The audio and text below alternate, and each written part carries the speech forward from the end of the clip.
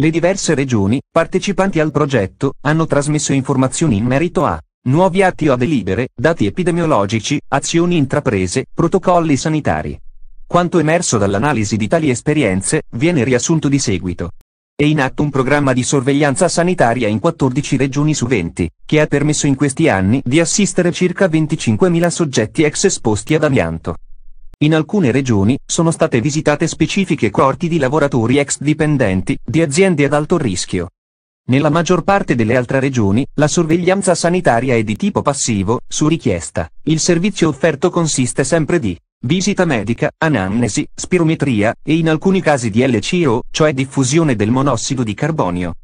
Molte regioni distinguono i soggetti a seconda dell'esposizione alta e bassa, secondo parametri diversi e con metodiche differenti. Non tutti fanno accertamenti radiologici. Spesso vi è l'indicazione di effettuare una radiografia del torace, più raramente la TAC. La periodicità è solitamente triennale, in alcuni casi biennale, annuale o quinquennale. Raramente viene coinvolto il medico di medicina generale. L'approfondimento diagnostico viene effettuato su indicazione clinica sul singolo soggetto. Con lo scopo di formulare la proposta di protocollo sanitario per gli ex esposti ad amianto, sono stati raccolti e confrontati i dati di alcuni centri, situati in quattro regioni, Veneto, Lombardia, Friuli Venezia Giulia ed Emilia Romagna, mettendo in evidenza punti di forza e criticità dei diversi protocolli in uso. In totale sono stati analizzati i dati di 1071 ex esposti, visitati tra il 2013 e il 2014.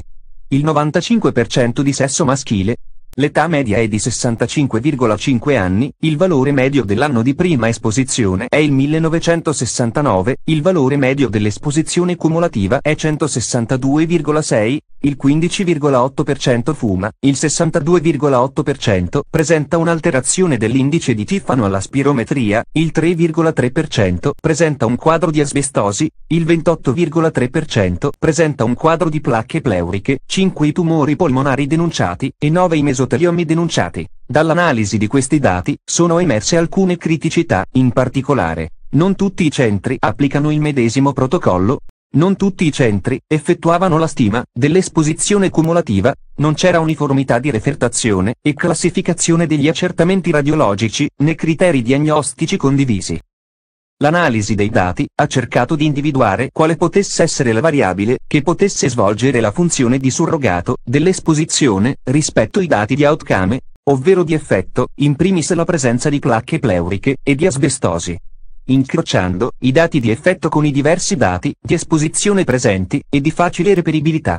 È emerso come sia le placche pleuriche che l'asbestosi si correlino in maniera statisticamente significativa solo con l'anno di inizio dell'esposizione, e in particolare nel campione analizzato. Il 99% di queste patologie benigne si presentava in soggetti con anno di inizio dell'esposizione anteriore al 1975.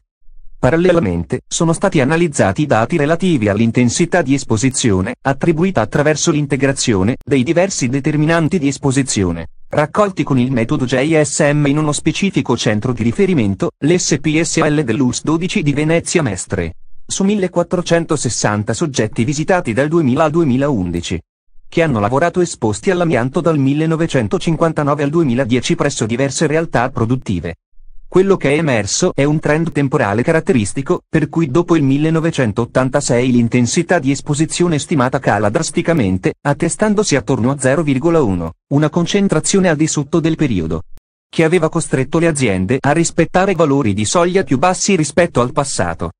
Un simile andamento è stato riportato nell'industria manifatturiera in Germania, dove però i dati erano misure ambientali reali, non stime. Possibili spiegazioni di questo calo possono essere l'iniziale dismissione dell'uso di amianto da parte del settore produttivo, e le attività di prevenzione, messe in atto in quegli anni, anticipatrici di una normativa che di lì a poco avrebbe vietato l'uso, e il commercio dei materiali contenenti amianto in Italia.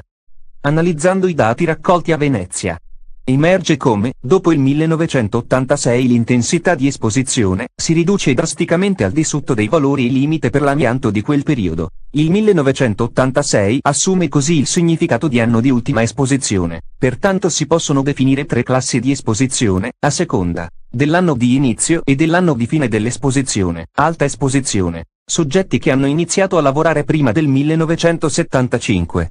Media esposizione. Soggetti che hanno iniziato a lavorare dopo il 1975 e prima del 1986.